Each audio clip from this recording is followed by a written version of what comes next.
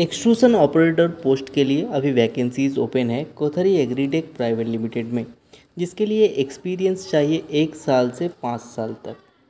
Welcome everyone welcome to another episode of plastic engineering jobs और आप देख रहे हैं सीपेट का यूट्यूब चैनल अगर आपने हमारे सब्सक्राइबर है तो वीडियो को लाइक करिए और अगर आप वीडियो पहली बार देख रहे हैं हमारा तो चैनल को सब्सक्राइब करिए। और वीडियो अपने दोस्तों के साथ या फिर सीपेट स्टूडेंट्स के साथ शेयर करिए। आपको हमारे चैनल पे सीपेट का रिव्यू और सीपेट इंजीनियर्स के जॉब रिलेटेड वीडियोस देखने के लिए मिलते हैं। तो आज हम लोग बात करेंगे कोथरी एग्रीटेक प्राइवेट लिमिटेड का। तो कोथरी एग्रीटेक अपना पाइप मैन्युफैक्चरिंग के लिए फ़ेमस है। ये एग्री पीवीसी पाइप बनाते हैं सीपीवीसी पाइप बनाते हैं यूपीवीसी पाइप बनाते हैं एच और कॉलम पाइप बनाते हैं।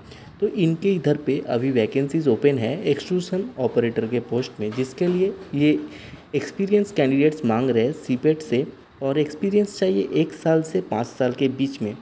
तो एडुकेशन हो गया आपका सीपेट डीपीटी हो डीपीएमटी हो, या फिर पीजीटी पीपीटी हो, आपका अगर प्लास्टिक एक्सट्रूशन प्रोसेस में एक्सपीरियंस है तो आप अप्लाई कर सकते हैं। इसका लोकेशन है सोलापुर, महाराष्ट्र में।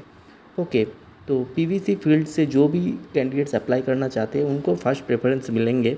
और इंटरेस्टेड कैंडिडेट अपना सीवी जो है recruitment at the rate Kothari group India dot com पर शेयर करिए।